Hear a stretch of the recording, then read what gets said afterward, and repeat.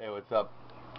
Dirty Job here, and uh, I am in, uh, well, I'm in Massachusetts, and I have the Mount Washington repeater here, a 2 meter repeater programmed in.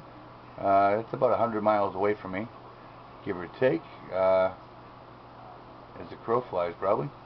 And I'm just going to uh, try to key it up. I'm running a uh, Comet GP9 uh, base antenna, it's a 2 meter 440 antenna made by Comet and uh, let's see if I can keep this repeater. It's 100 miles away here. Let's see. I don't expect uh, very high S units on the machine, but uh, we'll see here. Let's get the squelch down. Bear with me here for a minute. Volume. Alright. Let's try to key her up.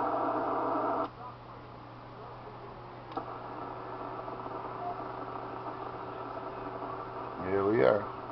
One S unit. Course, that is 100 miles away. That's not, uh, it's not too awful bad here. Back here again.